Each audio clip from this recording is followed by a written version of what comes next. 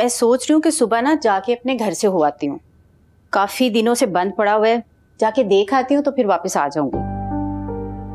खाला मी आपको किस बात का खौफ है? अगर अबू वहाँ आ भी गए तो वो मुझे ज़बरदस्ती तो नहीं ले जा सकते ना?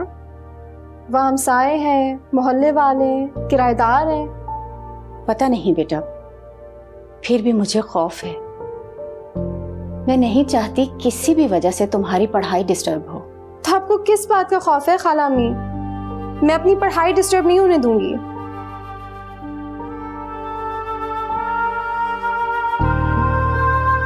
वैसे, आपने कभी मुझे बताया नहीं कि अम्मी और अबू की क्या कहानी थी?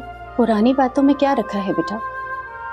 वो दोनों तो बस सिकंदर ने समीना के साथ कभी अच्छा सुलूक नहीं किया।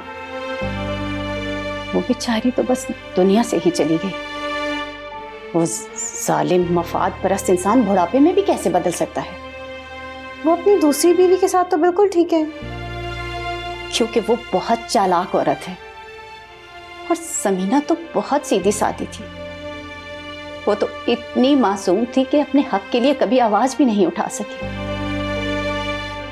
आज भी उसे याद करती हूँ तो यादों के झरोखे रोशन हो जाते हम सिकंदर को कभी माफ़ नहीं कर सकते।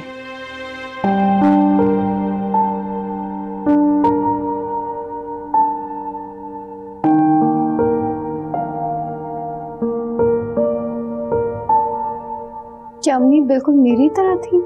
हाँ बिल्कुल तुम्हारी तरह थी।